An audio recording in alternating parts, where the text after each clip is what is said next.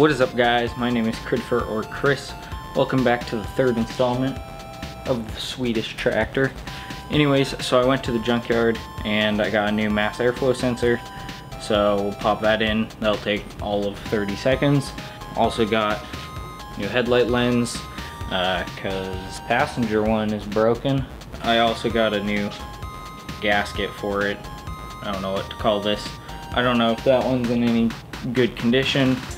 This one's decent, so I cleaned this off and we'll put that on.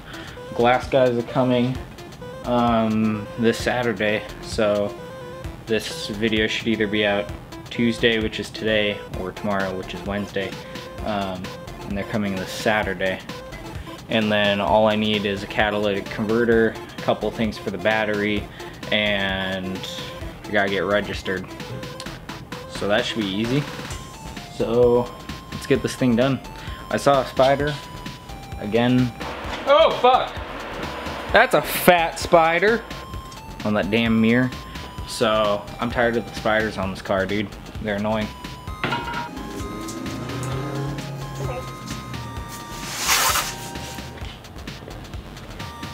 Alright, so we're putting the mass airflow sensor on first. Um, these are super easy to put on and take off. All you need is a flathead screwdriver and a T25 screwdriver.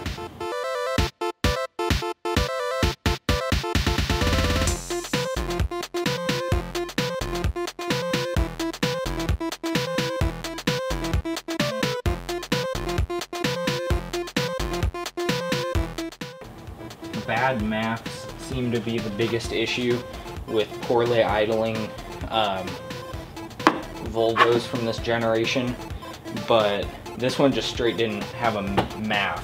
I don't know why. Uh, the guy, it seemed like started parting this out before I bought it because it has no cat on it either. He just sold that. So I think he sold the MAF as well. So now let's just take this headlight out. I'm to adjust the camera so you can see uh, but it should be super easy to put in. Okay, so this valve, I was to buy the entire assembly, but I realized that'd be dumb because I don't need a new assembly.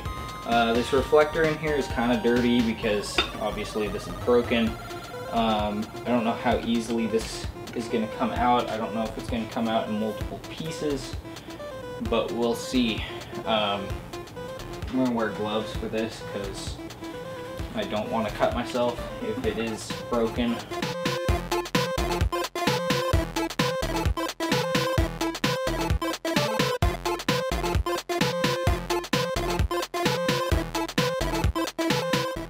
Cool. So that's actually not as dirty as I thought it was. Now, that I'm looking at it though, there are clips that go along here and I didn't grab those because I was stupid. But it should just fit right in there. Yeah, that looks really good. That's a, this one was super clean. Like this one needs, I'll probably take this one off and clean it because it's kind of foggy, but glass is so much easier to defog. Um,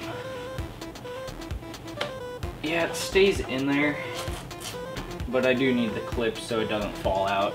So for now, I'm gonna just leave this in here and the corner lights look a little dirty up here. So I'll probably take the corner lights out when I put it all back together um, with the clips and everything. I'm not gonna wash this out right now. I'll do that when I'm done. Let's hear this thing start up. Hopefully it idles better.